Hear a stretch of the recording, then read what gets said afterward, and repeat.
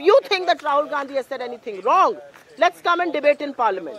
लेकिन शर्त सिर्फ़ एक होगी कि जब वो महँगाई की बात करेंगे, आप लहसुन, प्याज नहीं खाती हूँ, कह के बचेंगे नहीं जब वो बेरोजगारी की बात करेंगे तो आप पकौड़ा तलने की सलाह नहीं देंगे जब वो चीन की बात करेंगे तो कोई घुसा हुआ नहीं कहकर आप भागेंगे नहीं और जब वो अडानी पे बात करेंगे तो आप कांपती हाथों से पानी नहीं पिएँगे मेरा अपना मानना है कि जिन लोगों का भारतीय जनता पार्टी में वजूद ही राहुल गांधी जी को ट्रोल करने से है, वो ये काम करते रहेंगे, क्योंकि उनका अस्तित्व ही ये है और बीजेपी में एक होड़ लगी हुई है। जब भी राहुल गांधी जी कोई वक्तव्य देते हैं, कोई बात कहते हैं, कोई चर्चा का मुद्दा उठाते हैं, जो जनहित का मुद्दा है, लोगों का मुद्दा है, हर बार भारतीय जनता पार्टी के छह, सात, आठ लोग कूद पड़ते हैं डेरोगेटरी रिमार्क्स के साथ, आधा सच पूरे झूठ के साथ, और यही काम आज मंत्री स्मृति ईरानी ने और तमामों मंत्री कर रहे हैं।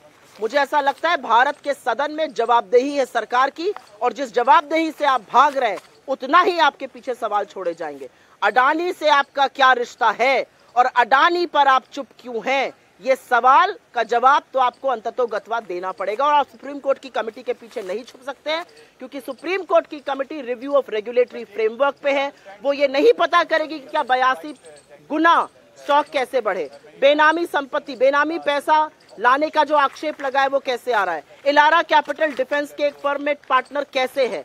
सेबी का क्या प्रोब हो रहा है? DRI, directorate of revenue intelligence इस पे क्या कर रहा है? कहाँ है आपकी ईडी, आपकी सीबीआई, आपका एसएफआईओ, आपका एमसीए, आपका डीआरआई, आपका आईआरडीए?